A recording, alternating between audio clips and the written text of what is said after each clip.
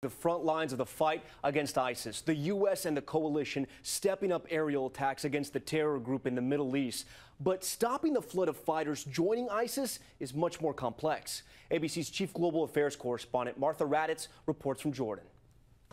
Terrorists have flooded into Syria and Iraq from around the world, including just across the Jordan Iraq border, where ISIS flourishes. And driving along the border, we saw Jordanian tanks and forces deployed as fears grow that ISIS fighters could bring the battle to Jordan. After that shocking execution of the Jordanian pilot burned alive, much of the Arab and Muslim world rallied against ISIS. But that execution and the coalition airstrikes have also galvanized legions of ISIS supporters.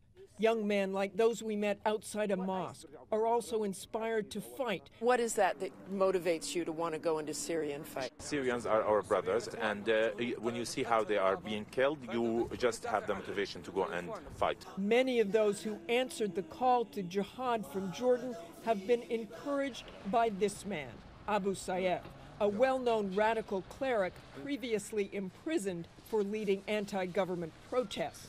He said ISIS made a mistake by burning the pilot alive, but defended sending extremist fighters to Syria. This is for the sake of God that we went to fight in Syria. A fight, he said, that men and women are willing to face prison for or death. Martha Raddatz, ABC News, Amman, Jordan.